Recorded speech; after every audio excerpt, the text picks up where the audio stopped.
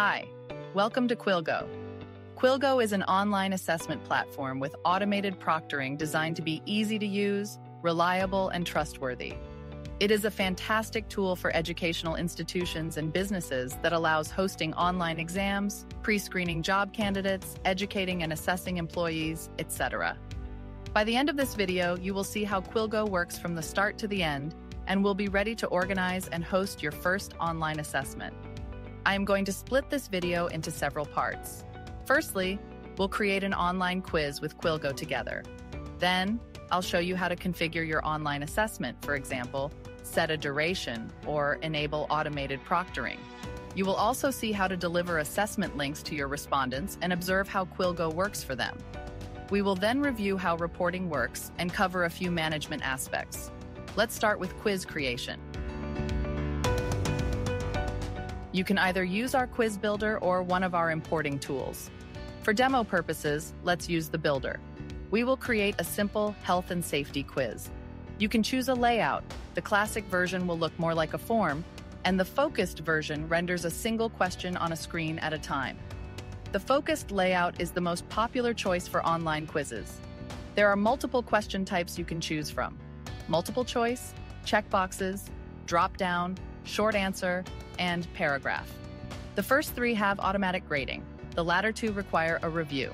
You can also split your quiz into sections. Now, let's create our first question. I will pick multiple choice as an example. Our first question is, which device is in the picture? Let's attach an image of the device.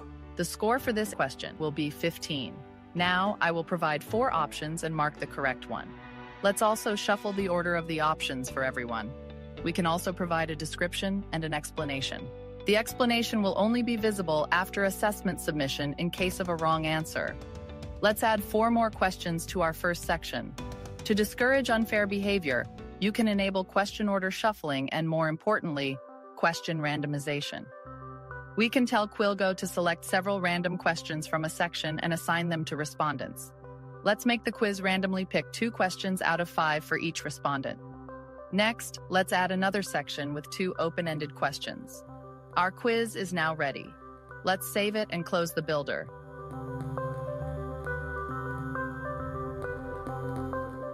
Now, we advise you to take a few configuration steps. First of all, let's choose when your assessment must start. You can select a specific date and time or allow to start anytime. Then, set the duration. It is one hour by default. Next, choose when your assessment must end. You can also select a specific date and time or keep it without a deadline. Next, let's set up the access mode.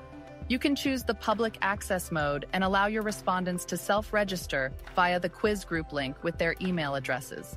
You can limit the registrations to a specific domain name, for example, the one of your organization.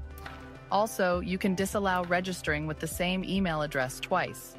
Alternatively, you can switch to the restricted mode and pre-create individual tests by providing respondents' email addresses and names. The next block is optional. You can turn the automated video proctoring on and screen tracking. You can allow overtime and enable automatic response submission. Also, you can show the score to your respondents once they submit their answers. Configuration is complete, and we are ready to deliver the assessment to our respondents.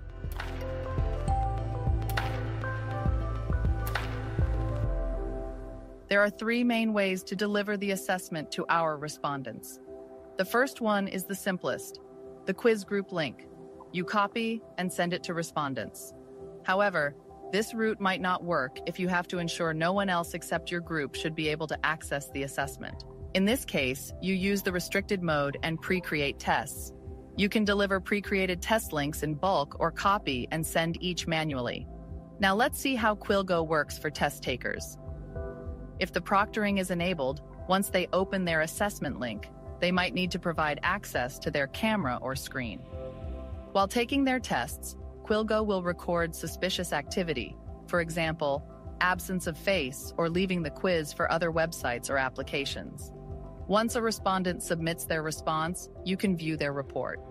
The report contains time information, scores, proctoring results, and answers. Text-based answers may require manual review and scoring. You can share the results safely with the respondent, You can copy individual results links and send them manually or deliver them in bulk. You can view and export all the responses and view a quiz report.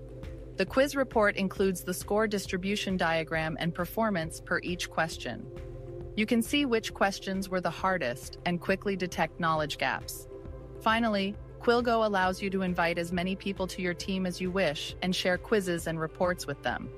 As per your organization's branding, you can specify your colors and upload your company logo so they appear on your welcome and quiz screens. At this point, we covered most of the basics that should help you to get started and successfully host your online assessment with Quilgo. If you need any help or have any questions, let us know. Also, don't hesitate to schedule a call with us. We wish you a fantastic experience and look forward to having you on board.